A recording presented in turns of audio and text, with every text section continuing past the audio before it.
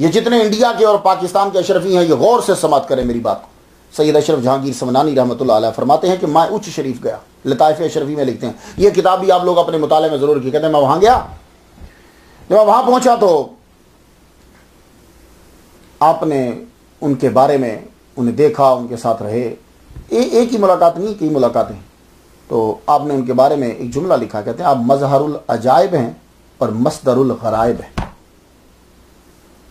मजहरुल अजायब हैं और मसदरुल गरायब हैं। यानी अजीब व गरीब चीज़ें आपसे सादर होती हैं। अल्लाह अकबर फरमाते हैं कि मैं खानगाह में गया।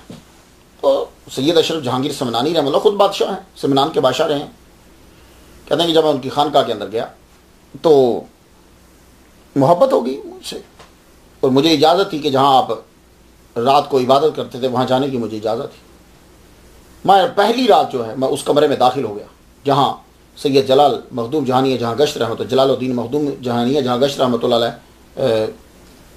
रात को इबादत करते थे, मैं अंदर कमरे में दाखिल हुआ तो क्या देखता हूँ कि आपका जिसम सात हिस्सों में बट कर मुख्तलिफ़ जगहों में पड़ा हुआ है।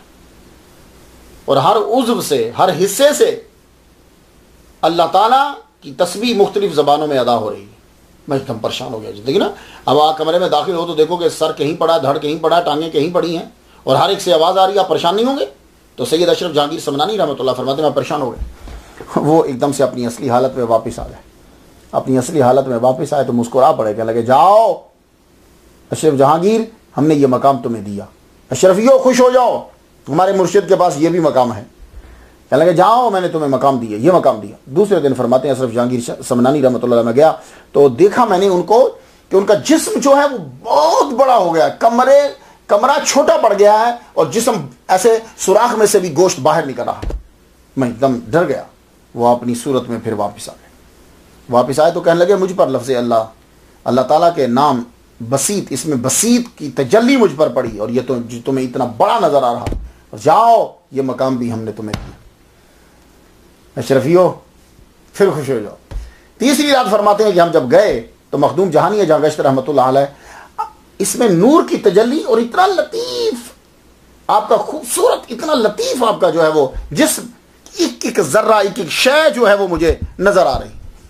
अल्लाह अकबर जला शाह कहने लगे, फिर एकदम से आप अपने असली हालत में वापस आए तो कहने लगे, ये अल्लाह ताला के इसमें नूर की तजली है हमारे ऊपर। अल्लाह अकबर जल्ला शाह जाओ, ये मकाम हमने तुम्हें दिया। फिर फरमाते हैं कि ये चीज़ मुझे जब अता कर दी तो उसके बाद उन्होंने तमाम हाजात के लिए तवीज़ गफूरी जो है, उसकी मुझे इजाज़त दे तवीज़ों के कुछ नाम होते हैं, जैसे पंदरियाँ है, गफूरी है, ये तो तो इसका इजाज़त दी। और मुझे जब मेरे मुर्शद सैयद मदनी मियाँ, जो अशरफ जहांगीर समनानी रहमत की औलाद में से हैं, अब जो हैं, सैयद मदनी मियाँ जब